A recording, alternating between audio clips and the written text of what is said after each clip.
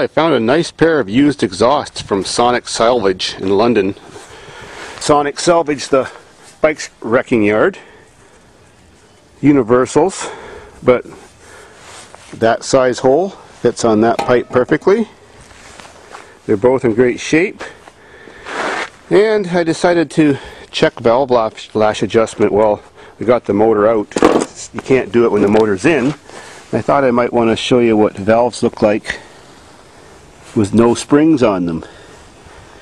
The rocker's on top that pushes them down when the cam goes around and hits that pad.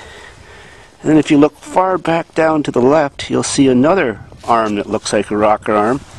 And that's the little finger that lifts the valves up and keeps them closed.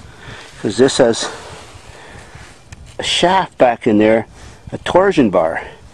It twists the shaft like it does on some cars with torsion bars. And that's what gives it the springiness to pull the valve back up and keep it tight. Really unique design. I doubt it would wear out. And a really other unique design is the adjustment for the valves. The little lock nut and set screw. And that looks like it goes to the shaft that the rocker pivots on. And it must be a cam shaped or eccentric shaped shaft so that when you rotate that little shaft it must raise and lower the pivot point. Sweet. No play in the timing chain, so no red neck repairs here. And I'm going to do the ones on the back side. That's for the intake. Now to adjust the intake valves. It's actually so easy to adjust them when you can turn those little nuts from outside the motor and adjust the little screw. Then while you're doing that, you're just measuring rocker gap. Oh, just what I needed, a helper kitty. Meow, come here. Come on. Thank you. Got any ideas on what's happening? Aww.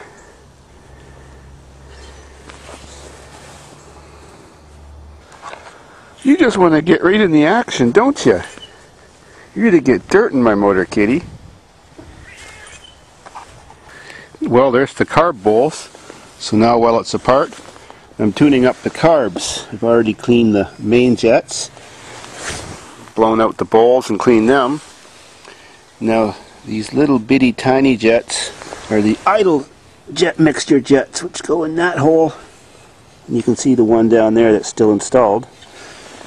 And I've got a little piece of wire from my power wire brush. That hole is so tiny, but it's good for cleaning it out because it doesn't seem to want to idle well. Seems to be a bit lean. Well, that's probably the reason. 30 or 40 years of gunge. Huh, it's going to run just like brand new. Well, no wonder it was having a hard time idling when I first got it running in the wintertime, surging up and down. Huh, that jet's just full of crap. Good thing I took it apart. Remember, boys and girls, when you're cleaning carburetors, especially lawnmower carburetors or the idle circuit in carburetors where the passageways are super small, whether that be in a motorcycle, a carb, I mean a motorcycle or a car, the best thing to use is the wire from wire brushes. Carbs are done now. I even took it apart on the top and got the constant velocity pistons working perfect. The reason they're not falling down is they're not spring loaded, they fall down by gravity, but they are working great when the motor's standing up. Well, it's back together and finally running. Take a look.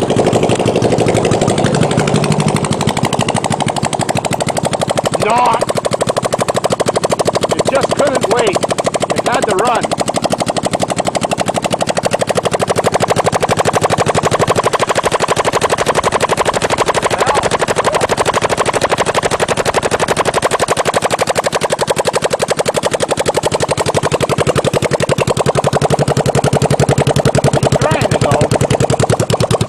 Well, she just ran out of gas. All I did was prime the carbs up with my little squeezy bottle. Awesome. Carbs work great now. Okay, well maybe tomorrow she'll be running.